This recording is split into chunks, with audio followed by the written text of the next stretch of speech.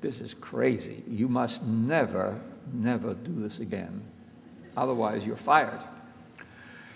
And um, didn't do it again, but he was very smart. He published a paper that described this. And that helped him, together with these two other gentlemen, win the Nobel Prize. So his contribution to the Nobel Prize was this daring experiment on himself. And these two uh, um, uh, gentlemen were professors at Columbia University. Andre Cournand, actually a French physiologist, pulmonary physiologist who emigrated to the United States in the 1930s, and Dickinson Richards, a, um, um, a senior professor of medicine, and they really brought cardiac catheterization into the foreground. Okay, cardiac surgery, of course, a very important development in cardiology. Um, I think that when you hear a cardiac surgeon talk about this, they'll give you 10 things and they'll show one cardiology slide and say the cardiologists were there also. But um, here are two uh, men, Robert Gross, professor of um, surgery at Harvard Medical School, and he uh, did the first um, cardiac operation, ligated a patent ductus in 1938. By the end of a year, he had done 100 cases without a fatality. John Gibbon, professor of surgery at Thomas Jefferson University in Philadelphia, developed the heart lung machine. And it was truly a genius kind of product because he built this in his own garage.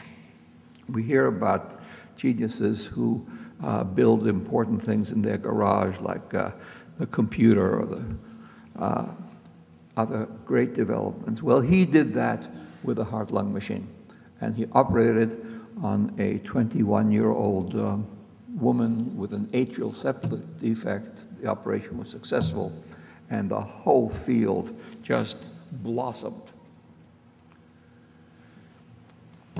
Coronary angiography, Mason Sones at the Cleveland Clinic director of the cardiac catheterization laboratory, was doing this. This one is different from the others because this, maybe it's a little like Forssmann, it was an accident. He was doing, he intended to do an aortogram, inject dye into the central aorta and look at all of the branches. And by mistake, he entered the coronary artery. And when he injected 60 milliliters of dye into the coronary artery, the patient's heart stopped. And his heart stopped. Fortunately for everybody, both hearts, after about 10 seconds, began to beat again because this was an unconscionable amount of dye, about 10 times the dose. By that afternoon, he had done two more cases, and coronary angiography was born. Andreas Gruentzig, a German Swiss or Swiss German, always get confused, uh, trained in cardiology. He trained in um, vascular disease and in radiology. Very young guy. Um, he was about uh, 30 after this training, he put these different disciplines together and he developed the balloon angioplasty. Percutaneous coronary intervention. Of course, it has gone through many, many evolutionary stages. We have stents, we have drug-eluting stents, but this is the man who started it. And tragically, um, he uh, uh, was working at Emory University in Atlanta. He liked to fly planes, and uh, he flew into a storm with his wife, who was a, uh, a, um, uh, a, a, professor of pediatrics, and they were never heard from again. So it is a tragic, but he made this very big mark Professor Chazov, Evgeny Chazov, a, obviously a uh, Russian, uh, and actually I was in Moscow last week and, and spent some time uh, with Chazov. Uh, he was, um, when he was the Deputy Minister of Health for the whole Soviet Union, he did a very important experiment. He injected streptokinase into the coronary artery. So here, you see the catheter, and here is the coronary artery, and you see it comes to a complete stop. That's the occlusion. Patient was having a heart attack.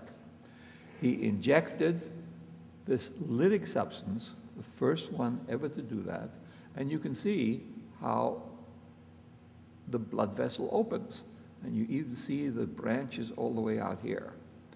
And this began the whole field of reperfusion of coronary arteries and has reduced the mortality uh, in half. By the way, Chazov went on, um, just as an aside, um, he became the full Minister of Health of uh, the Soviet Union. He um, um, was Brezhnev's doctor, and um, uh, he became very interested in stopping nuclear war, and he organized physicians.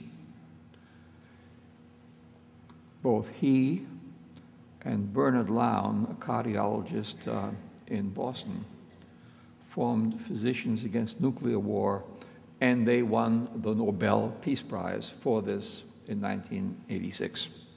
So he was a very versatile and is a very versatile person, very active right now. Here are cardiovascular drugs, and um, um, so if you take beta blockers, ACE inhibitors, and statins together, it's fair to say that probably more than a billion people on Earth have been helped by these drugs. Beta blocker, James Black, Sir James Black, a Nobel Prize winner also, ACE inhibitors, Cushman and Ondetti, and statins, Akira Endo. Now, what is remarkable about this slide to me is that these four people all worked for industry. And we're going through a rough patch in our country in terms of the relationship between academia and industry. And those of us in academia